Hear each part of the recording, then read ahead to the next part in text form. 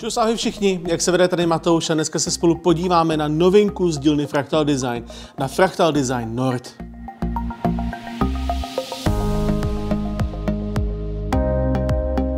Podle svého názvu tato novinka indikuje, odkud možná pochází. Pokud typujete severské země, tak ano, jejich design a konstrukce má připomínat takový typický severský obývák, nějakou finskou minimalistickou domácnost nebo něco podobného. A opravdu vypadá, kdyby vypadla z katalogu od IKEA. Eh, co se týče těch samotných designových prvků, tak eh, to, co tady vyčnívá, tak je nejvíc dub na přední straně, ano, to je skutečně dub.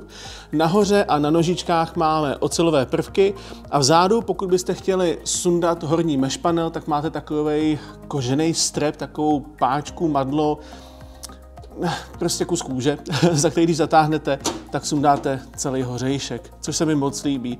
Opravdu, pokud se na to podíváte, tak to prostě vypadá jako spíš doplněk domácnosti, než jako počítačová skříň. Nicméně jejich design a vzhled není cílený pouze na Office nebo obývák, je to cílené i na počítačové hráče. Dovnitř se toho totiž vejde opravdu hodně. Pojďme si už ale sundat bočnice a podívat se dovnitř, tam může být buď to takhle skleněná, anebo kovová s mesh panelem.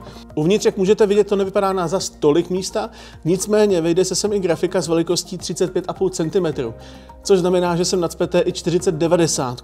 Nevím, kolik je tady potom místa mezi grafikou a sklem nebo tím mesh panelem, takže bych se možná už bál toho 12 pinu, že bude usazený špatně nebo se bude ohejbat.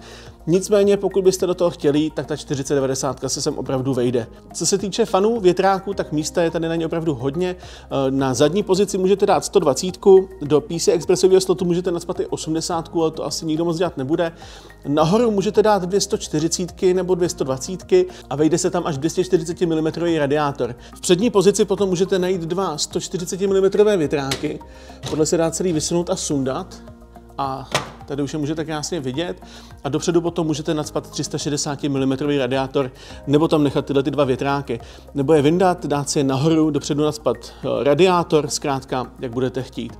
Ale jak říkám, uvnitř toho místa je opravdu hodně. Celá ta case je situovaná na ITX, ATX nebo mini ATX a opravdu moc se mi líbí, jak je tady vyřešený cable management, protože přesně takhle, jak jsou nakloněny ty membrány na kabely, tak se potom neohýbají, vypadá to tisíckrát líp, než když jsou schovaný nebo když jsou úplně vohnutý a tak dále. A místa je tam na to opravdu hodně. Pojďme se ještě podívat na druhou stranu. Jinak musím říct, že se mi líbí, že ta skříň není eh, v klasický černý, že to je spíš taková tmavě šedivá. Když už jsme u těch barev, tak ji můžete zakoupit i v tmavé barvě a to pak vepředu máte ořech a nahoře a na těch nožičkách máte potom mosas. A to možná vypadá ještě trošičku lépe. Když si sundáme zadní stranu, tak, tak nám to odhalí i místo na cable management, kterýho já nevím, řekl bych, že je tady dost i málo, protože celá ta dutinka má dost místa. Nicméně ve spod máte pozice na 3,5 palcové disky, což znamená, že ty potom budou potřebovat satu na napájení a satu na přenos dat. A to jsou kabeláže navíc a těch kabelů, nevím, jestli se sem vejde tolik, toho místa tady za stolik není. Takže pokud byste sem nadspali systém, který má spíše M2 disky nebo 2,5 palcové, protože tady na ně máme dvě pozice, tak to by bylo asi lepší. Já osobně bych obě dvě ty pozice na 3,5 palcové disky vyndal, aby se tam krásně vešel zdroj i se všema kabelama. A když už mluvíme o tom zdroji, tak tady pokud nahmatáte vevnitř, tak jsou gumové nožičky, které krásně redukují vibrace ze zdroje do počítače.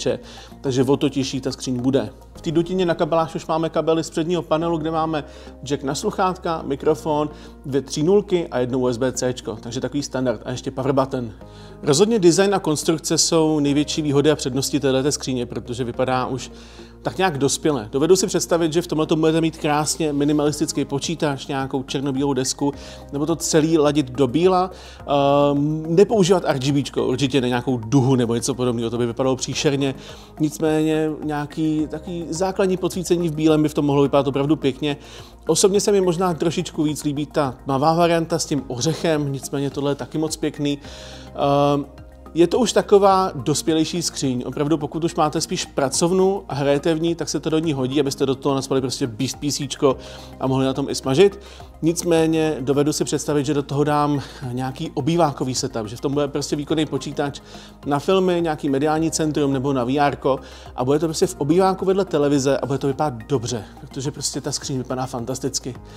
To je ode mě asi pro dnešek úplně všechno. Já doufám, že se vám video líbilo. Pokud ano, palec nahoru, dejte odběr zvoneček, mějte se fantasticky. Něco napište do komentářů a zase někdy. Ahoj.